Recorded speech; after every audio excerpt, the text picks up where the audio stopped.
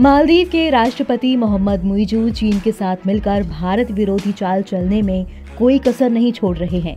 हाल ही में खुलासा हुआ कि मालदीव में एक नहीं बल्कि चीन के दो दो जासूसी जहाज़ मौजूद हैं। चंद दिनों पहले चीनी जासूसी जहाज़ Xiang Yang Hong zero three Maldives की जल सीमा में दाखिल हुआ था।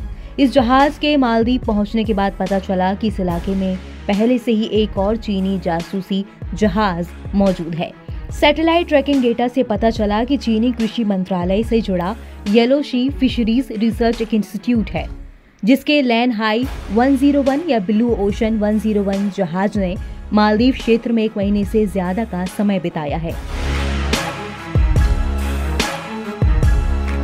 मालदीव के अधाधु न्यूज़ के मुताबिक सैटेलाइट एआईएस ट्रैकिंग के आधार पर पाया गया कि दूसरा चीनी जहाज़ मालदीव के पश्चिम में हिंद महासागर में उसी पैटर्न में यात्रा कर रहा है।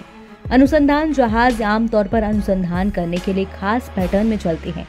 ये जहाज़ 21 नवंबर 2023 को चीन के किंग दाओ बंदरगाह से रवाना हुआ था। ट्रैकिंग डेटा से पता चलता है कि तब से जहाज़ ने कई मौकों पर मालदीव विशेष आर्थिक क्षेत्र की करीब 70 मील की यात्रा की। हालाँकि 5 दिसंबर 2023 के बाद जहाज़ आम तौर पर इस्तेमाल की जाने वाली ट्रैकिंग साइटों पर दिखाई नहीं दे रहा था। संभावना है कि जहाज़ ने अपने ट्रैकिंग सिस्टम को बंद कर दिया है। रिपोर्ट में तो ये भी बताया गया कि लैन हाई 101 माले में पोर्ट कॉल के लिए आने वाला था। वो मालदीव के विशेष आर्थिक क्षेत्र का चक्कर लगा रहा है।